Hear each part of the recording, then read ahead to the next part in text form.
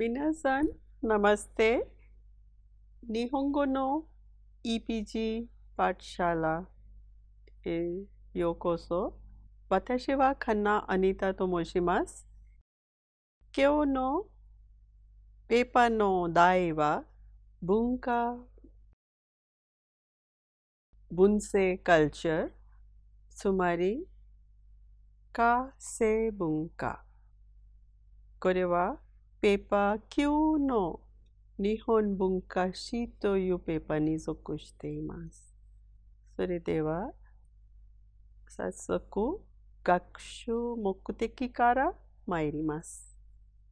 18世紀後半になると、江戸が政治の中心となってから150年以上も経ちました。人口も100万人前後といった推計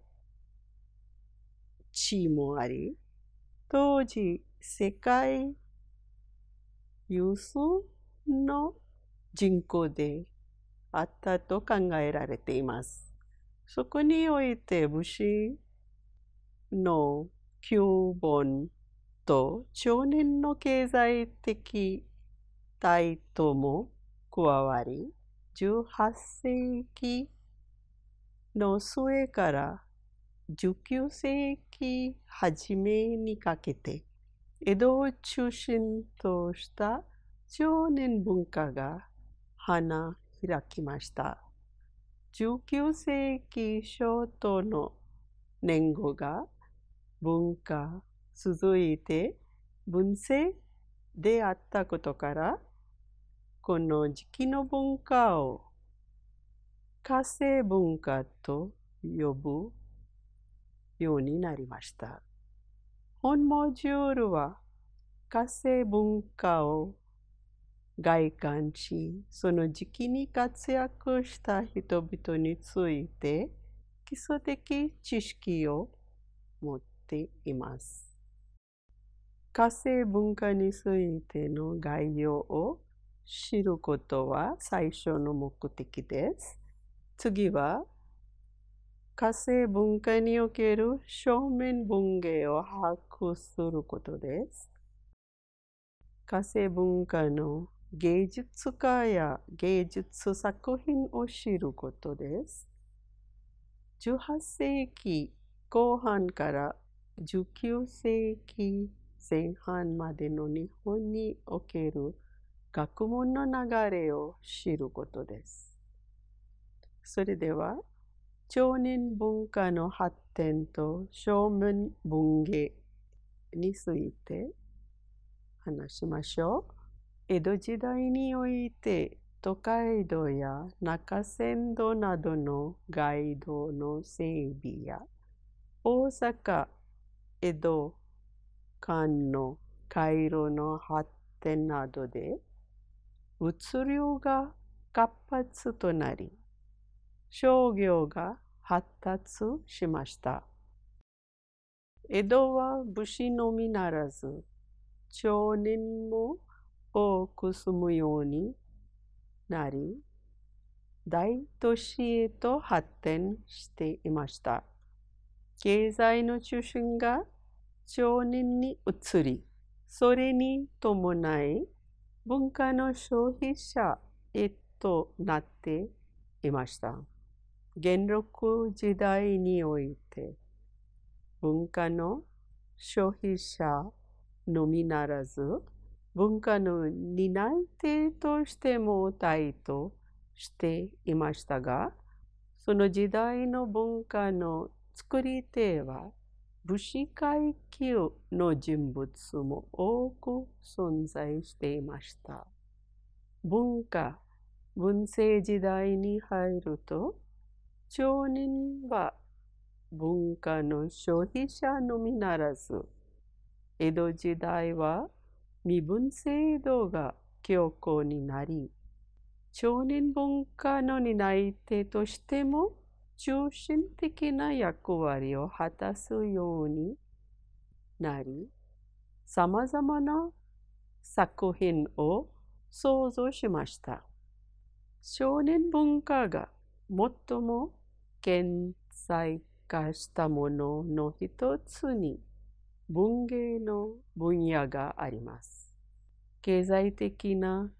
力はあった少年が政治の主役とはなり得ず、そのエネルギーと力は消費という方向に向かっていました。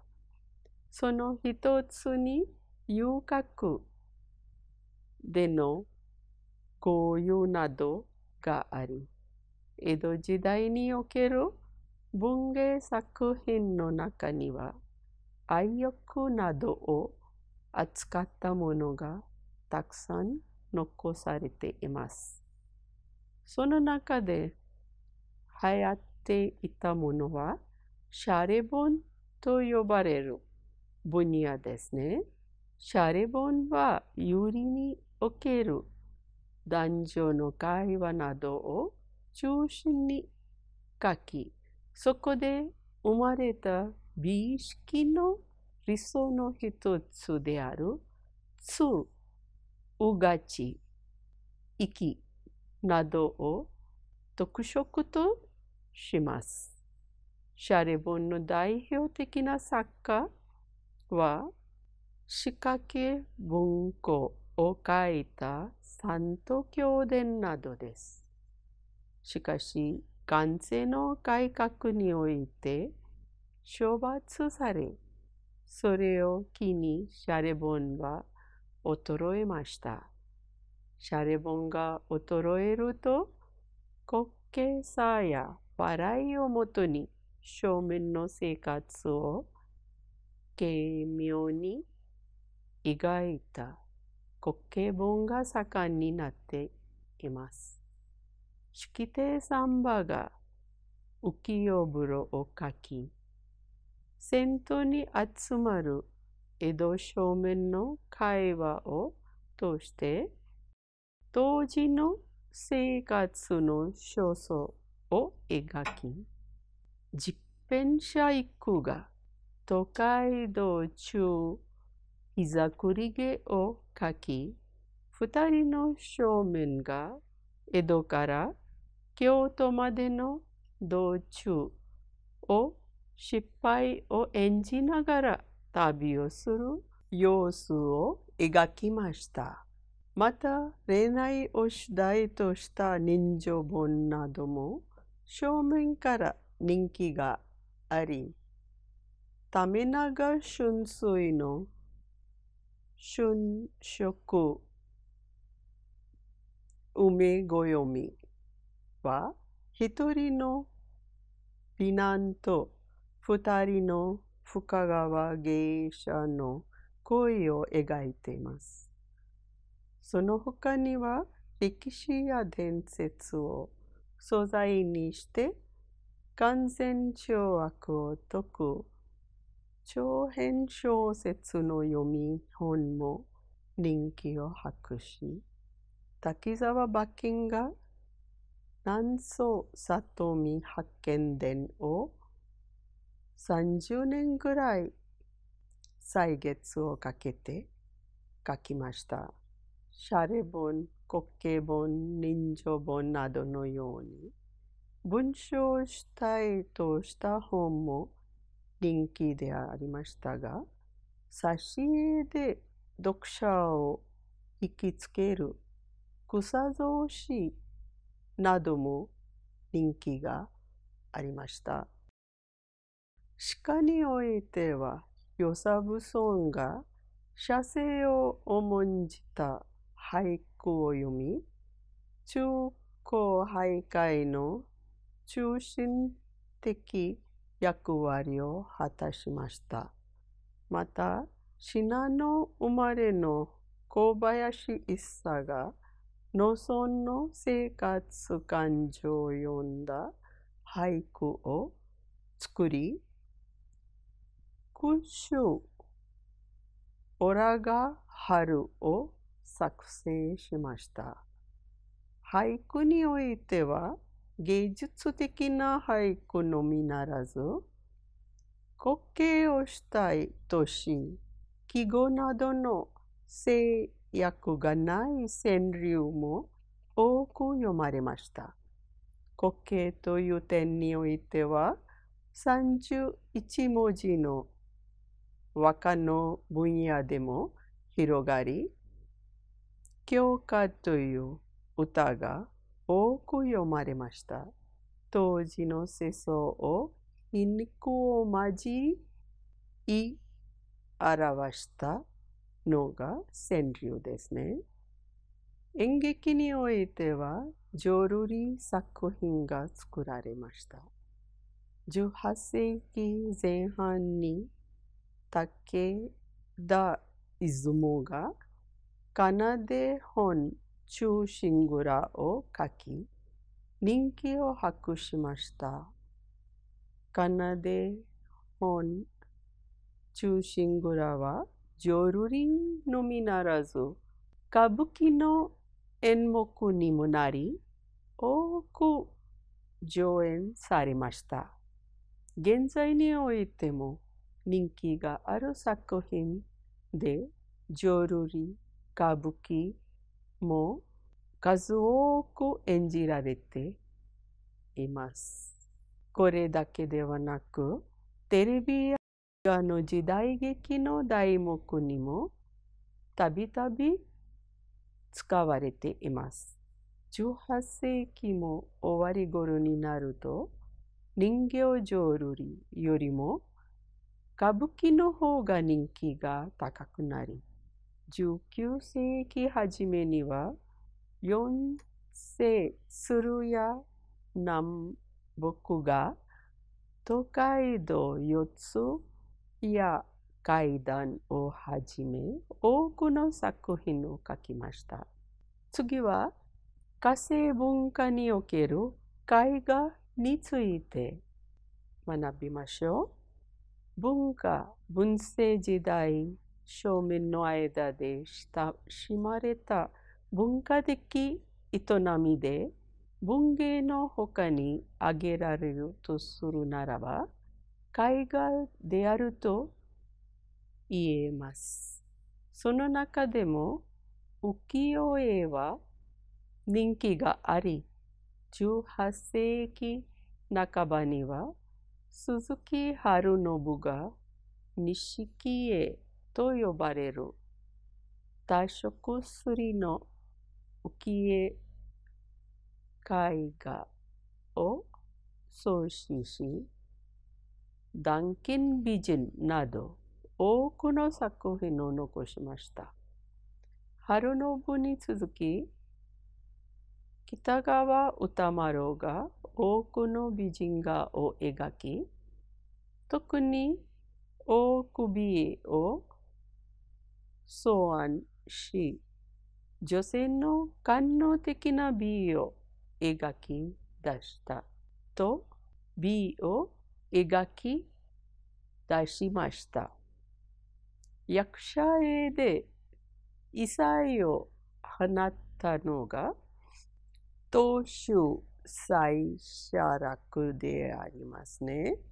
写楽も大衆への手法で役者を描き、表情や動作などを個性的に表現しています。幕末近くになると、錦絵の風景画が流行し、葛飾北斎が風学36景を表し、富士山の見える風景を描いた。白菜は大胆な構図と好調のある強い主観的な筆致で風景を描き、それらの作品は海外でもよく知られています。風景画においては、歌川広重も忘れてはならない存在ですね。広重の作品はどちらかというと、静かで客観的な筆で多くの作品を残しました。彼の代表作に東海道53字があります。浮世絵の他には従来の絵画の面で丸山王京が雪松屏風などの作品を描き新しい画風を作り出しました。王教はガノハの画法を学んだ後、西洋画の東シ図法を学びつつ、中国の写生画を研究することによって、写実性と日本の伝統的な装飾画様式を融合しました。また中国の影響で南画と呼ばれる絵画の系統が日本でも流行ってきました。南画は山水を画題の中心とする水墨画の一つです。江戸時代中期の文人画へと発展しました。文人画とは専門の画家ではない文人や学者が描いた絵のことです。戦術の良さ武装や池の大が渡辺画さんなどをはじめ多くの作品を残しました。御春は南画と丸山派の写実性を融合させ、史上派という新しい画風を作り出しました。西洋画は鎖国の影響で一時途絶えていましたが、この頃になると蘭学の発展の影響などもあり、復活し、平賀源内、芝公館などが遠近法などの西洋画の画法を学びました。学問の発展江戸時代において修士学や陽明学などの漢学が発展しましたが、元禄時代には日本の古典研究が始まり、18世紀の前半になると、古事記や日本書紀などの研究が行われ、日本古来の道を解く国学へと発展していました。この時代に活躍したのは、加野あずまろで、彼は古道説を唱え、古語や古典の研究が大切であることや、外来思想の排斥を主張しました。カムのまぶちは彼の門人で国語を発表し、万葉集などを研究しました。彼は外来思想の影響を受ける以前の古代人の生活や思想に立ち戻るべきことを説きました。国学を本格的に発展させた人物の一人は元利宣長です。元利宣長は古事記伝の印、古事記などの日本の古典を研究することによって、日本古来の精神に変えることが大切であると述べました。彼によれば、人間生活のもとになるのは自然の感情、真心であり、それを失わなければ、神の意志にかなった生活ができ、外来層である感覚や仏教は人間らしい感情を押し殺す教えであると批判しました。前述にもあったように西洋からのものは文化、分析には芸術の面で散見されるようになりましたが、学問の分野においても見られるようになりました。江戸幕府と長崎において貿易を許されたオランダを通して西洋の文物が入ってきました。そのため西洋の学問は当時蘭学と呼ばれました。蘭学の発展のきっかけは元禄の頃の儒学者荒井白石にまで遡り、